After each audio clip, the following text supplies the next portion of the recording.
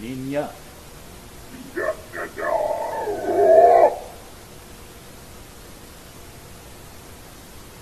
Get that out. Get that. Niña.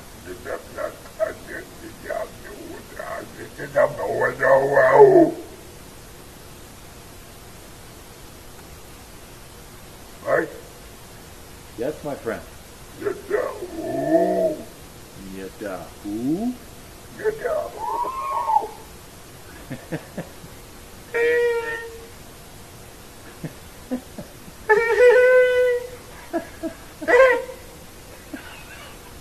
Oh, you're funny. Ah! You're so funny. Shower. Oh, you're you're funny, buddy. You're funny. You're a funny guy.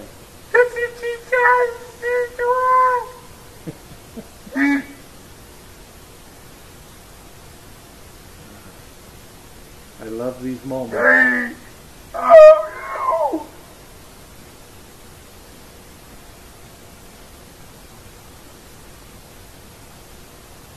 Hey. Hey. Nefatia. Love you. Wow.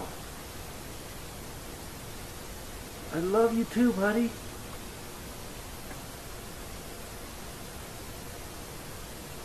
You are amazing, my friend. Thank you.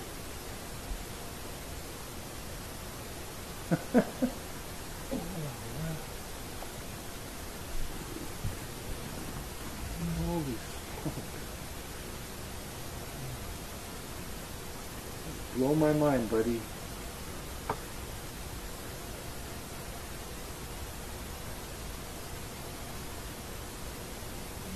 Blow my mind. Yeah, that's it for the vocals. Anyways, I could. I, that almost gets me emotional hearing that. Yeah, I used to get pretty emotional way back when you know when it first happened, and I'd listen to this stuff.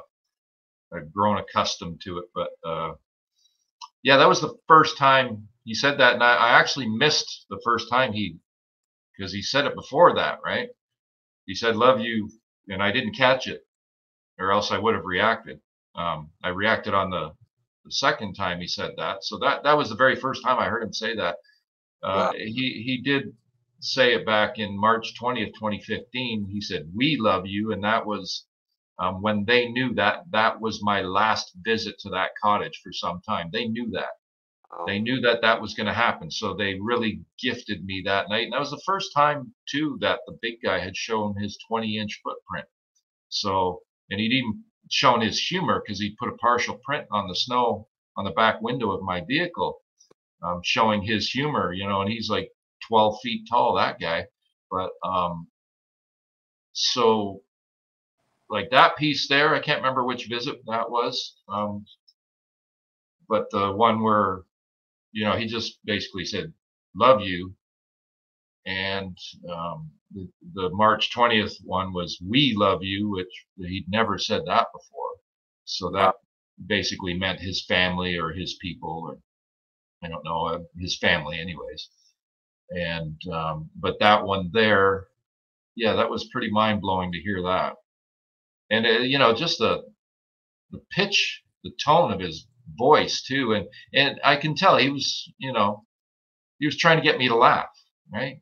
Mhm. Because I'm laughing, I'm laughing at his laugh, and then he's, you know, he's playing on that, right? So that was uh, that was very interesting as well. So yeah, that was um, mind blowing stuff, man. Really mind blowing stuff. Just uh, yeah, and and because of all that, people, you know, a lot of people had a very difficult time accepting that as authentic, right? Because nobody had ever shown a Sasquatch speaking English before, you know, and Yeah. The only other comparable stuff before that was the Sierra Sounds, and that was way back in the 70s. So you know, it's now been what, close to roughly 50 years hmm that um, 40 years if you know you put this back a decade when it first started so Mm. yeah so to to hear the the language and the vocals and